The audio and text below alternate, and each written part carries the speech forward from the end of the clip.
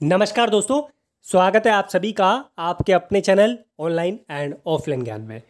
दोस्तों बीआरओ यानी border roads organisation आप सभी जानते हैं, मैं बीआरओ की जो वैकेंसी लास्ट आप लोगों के लिए 2023 में आई थी, उसके बाद से ही आप लोगों से एक खबर सुन रहा हूँ कि सर हमें यह बता दो बीआरओ की नेक्स्ट वैकेंसी कब आएगी।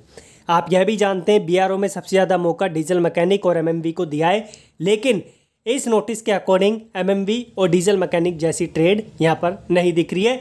अन्य ट्रेड को यहाँ पर मौका दिया है, जिसमें बहुत ज़्यादा वैकेंसीज नहीं है। लेकिन जितनी जानकारी है शॉर्ट नोटिस में मैं वो आपको दे दूँगा। इस नोटिस को आप लोग एक हफ़्ते से देख रहे हैं कि मल्टीपल साइट्स पे वायरल हो रहा है। लेकिन मैंने आपको अपडेट नहीं दी थी रीज़न क्योंकि इसकी ऑफिशियल जानकारी नहीं मिल रही थी। इसका जो अपडेट है, अभी आप लोगों को एम्प्लॉयमेंट न्यूज़पेपर में मिलेगा लास्ट टू लास्ट वीक के, और उसी के अकॉर्डिंग आप लोगों को जानकारी दी जा रही है। हर बार यही क्राइटेरिया रहता है डिपार्टमेंट का बी का, कि यह पहले शॉर्ट नोटिस एम्प्लॉयमेंट न्यूज़पेपर में निकालते हैं, उसके दस दिन बाद, पंद्रह बीस दिन, पंद्रह बीस दिन बाद, या फिर एक महीने बाद आप लोगों को ऑफिशियल साइट पे जानकारी मिलती है। उम्मीद यह थी कि 10 अगस्त को आप लोगों के लिए ऑफिशियल नोटिस आ जाएगा साइट पे फॉर्म चालू हो जाएगा, लेकिन डिपार्टमेंट ने किसी भी प्रकार की जानकारी यहाँ पर नहीं दी। इसके अलावा आप लोगों ने रिक्वेस्ट किया कि सर जी हमें जानकारी दे दो बीआरओ की, कि क्या है इसका अपडेट तो अभी तक कोई ऑफिशियल आया नहीं तो मेरा काम है आप लोगों को इंटीमेट करना, वो मैं अपनी साइड से आप लोगों के लिए कर रहा हूँ। तो यहाँ पर एक चीज़ और गांठ बाँध लें, कि यहाँ पर जो फॉर्म निकलता है बीआरओ का वो 99 परसेंट ऑफलाइन होता है आई वाले बच्चों के लिए। और अगर ऑनलाइन होगा, इन्होंने कुछ चेंज किया होगा तो वो जानकारी मैं आपको दे दूँगा। इसका फॉर्म बहुत ही केयरफुली तरीके से भरना पड़ता है और इस फॉर्म को भरने के बाद सही तरीके से डाक द्वारा पहुँचाया जाता है। डिपार्टमेंट आप लोगों के घर पे एडमिट कार्ड पहुंचाता है और जिस बच्चे का एडमिट कार्ड नहीं आता, वो बच्चे अगर लिस्ट में अपना नाम देखते हैं तो रिलीवेंट डॉक्यूमेंट के साथ अपना एग्ज़ाम देने जा सकते हैं। अगर हम बात करें तो यहाँ पर ड्रोट्समैन की वैकेंसी है ड्रोट्समैन में सिविल है मैकेनिकल है। मैं तो मैकेनिकल की ओर जाऊँगा क्योंकि यहाँ पर मैकेनिकल की वैकेंसी निकलती है।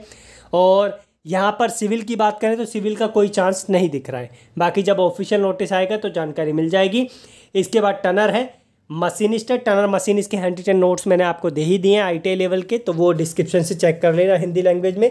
उसके बाद ड्राइवर मैकेनिकल ट्रांसपोर्ट ओजी की वैकेंसी है। इसमें चांसेस है कि बारहवीं पास रखने के बाद आप लोगों के लिए ड्राइविंग लाइसेंस का क्राइटेरिया भी रखा जाए। तो इसकी जानकारी आपको तभी मिल पाएगी जब ऑफिशियल नोटिस आएगा। सबसे ज़्यादा वैकेंसी इसी में ही है, चार एक अच्छा खासा मौका है आप लोगों के लिए। तो ऑफिशियल नोटिस आने दीजिए। एज का क्राइटेरिया, सिलेक्शन प्रोसेस का क्राइटेरिया, वो मैं आपको बता दूँगा।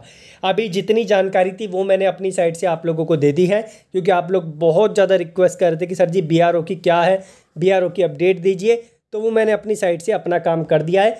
अब आप लोगों का काम है इसका वेट करना, और वेट मैं आप लोगों को ओवर तभी कर पाऊँगा, जब इसकी वैकेंसी ऑफिशियल साइट पे दिखेगी।